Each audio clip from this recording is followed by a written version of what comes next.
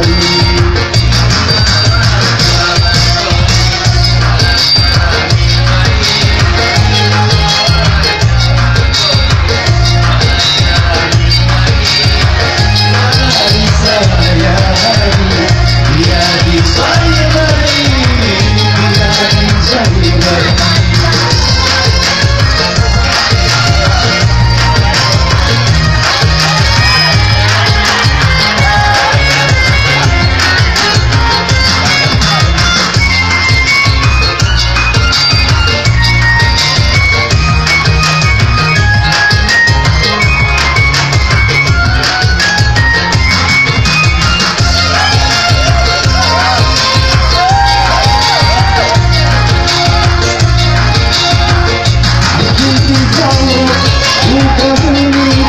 Apologies, you have come in.